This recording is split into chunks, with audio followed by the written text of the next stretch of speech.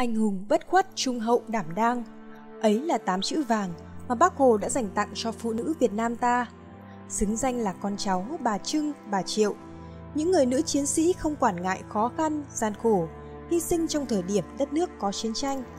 Khi Tổ quốc đã sạch bóng quân thù, họ lại trở về với vai trò của một người vợ đảm, người mẹ hiền, tham gia tích cực vào các hoạt động tổ chức đoàn thể, kinh tế, xã hội tại địa phương. Có một người nữ chiến sĩ Trường Sơn đã dành phần đời còn lại của mình để cùng cả gia đình cống hiến cho hoạt động từ thiện. Người phụ nữ đó là bà Trần Thị Trung. Bà hiện là ủy viên Ban chấp hành Hội truyền thống Trường Sơn Việt Nam, Phó Chủ tịch Hội Nữ Chiến sĩ Trường Sơn Việt Nam, chủ nhiệm câu lạc bộ gia đình nữ doanh nhân Trường Sơn. Từng là một chiến sĩ chiến đấu trên tuyến đường Trường Sơn máu lửa đầy bom đạn. Người nữ cựu binh ngày ấy này đã ngoài 60 tuổi.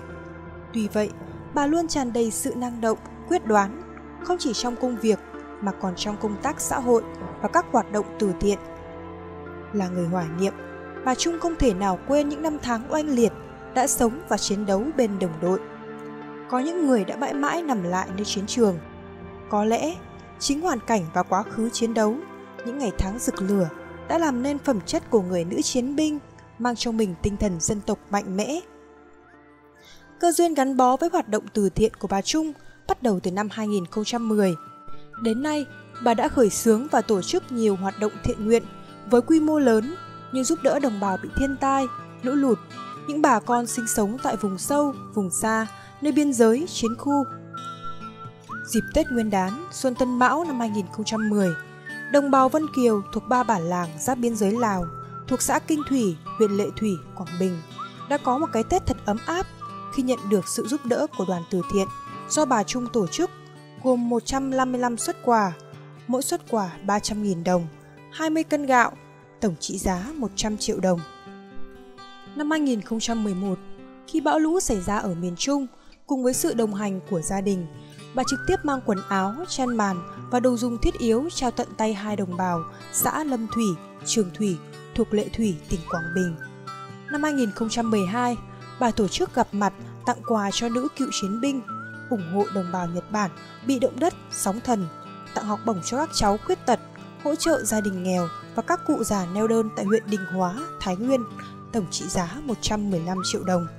Đến năm 2013, với số tiền trên 1 tỷ đồng, bà tiếp tục tiến hành nhiều hoạt động, xây điểm vui chơi, khám phát thuốc miễn phí cho các cụ già có hoàn cảnh khó khăn, nạn nhân chất độc màu da cam, tổ chức cho các cán bộ đi viếng các nghĩa trang Trường Sơn, đường 9 Nam Lào, nhận nuôi thường xuyên một cụ già neo đơn năm 2014.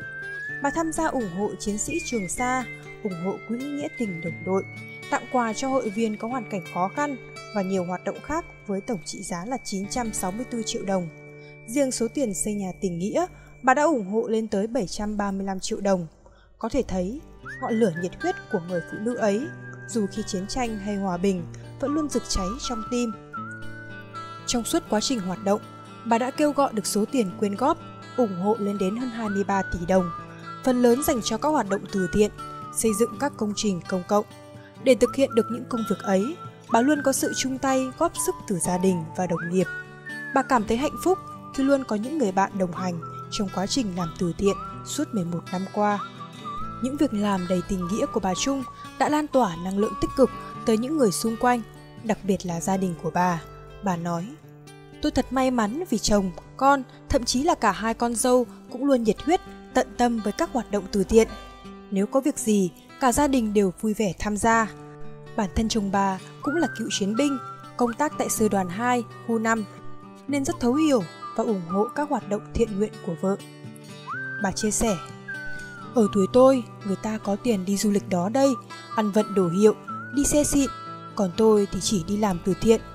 Mỗi khi nhìn thấy những mảnh đời thiếu may mắn, tôi lại không đừng được. Tiền bạc, vật chất với bà không hề quan trọng. Với bà, hạnh phúc thực sự chính là giúp đỡ được nhiều hoàn cảnh. Tất cả những gì mà người phụ nữ ấy có được sau những chiến công, cả cuộc đời chính là sự kính trọng, niềm tin yêu và một tổ ấm hạnh phúc. Khi là người con của Tổ quốc, bà không ngại hy sinh, cống hiến cả tuổi thanh xuân trên chiến trường đổi lấy lại hòa bình cho Tổ quốc. Khi là mẹ, người vợ lại làm tròn trách nhiệm, không những thế bà còn là người phụ nữ của xã hội khi lan tỏa cả những hành động đẹp đến những người thân yêu và bạn bè muôn nơi. Có một nhạc sĩ đã từng viết, sống trên đời sống cần có một tấm lòng. Tấm lòng ấy đôi khi không quá lớn lao, nhưng đủ để vỗ về những số phận, hoàn cảnh khó khăn, bất hạnh. Những người có hành động, lối sống tử tế luôn được xã hội đề cao, trở thành gương sáng điển hình. Tấm gương người cựu chiến binh, nữ doanh nhân Trần Thị Trung chính là hình ảnh tiêu biểu cho một tấm lòng cao cả, nhiệt tình với xã hội, cống hiến cả đời cho những giá trị nhân văn và việc làm chân chính. Làm việc tử tế cũng là cách để trao đi yêu thương. Chúng ta cảm thấy hạnh phúc hơn trong cuộc sống, bởi sống là cho đâu chỉ nhận riêng mình. Bạn đang xem video số thứ 6, nữ chiến sĩ Trường Sơn cả nhà cùng làm từ thiện, thuộc chuyên mục Người tốt, việc tốt do truyền thông trẻ sản xuất. Hãy ấn theo dõi và chia sẻ để lan tỏa hơn nữa những tấm gương tốt đẹp trong cộng đồng. Bạn làm, tôi làm, chúng ta cùng hành động.